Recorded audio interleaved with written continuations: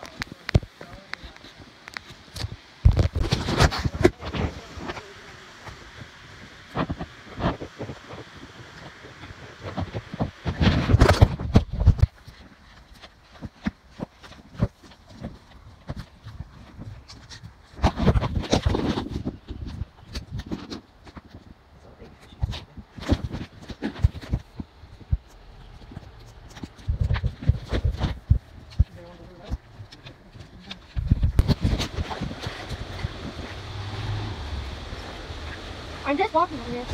Oh, that's deep. Mm-hmm. Jump.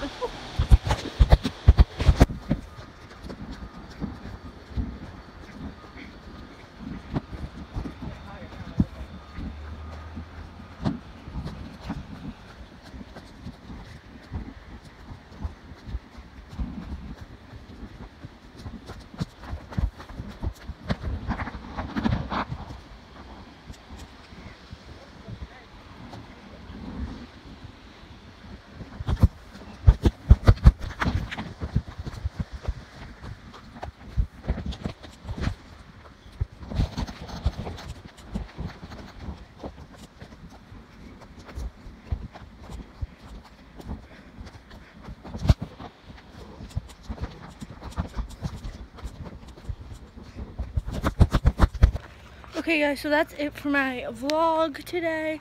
Um, so, hope you guys enjoyed. It was really, really fun. We've been here for like four hours, just hiking and going in the creeks and stuff. It was really, really fun. It was like an adventure. So, hope you guys tried this at home.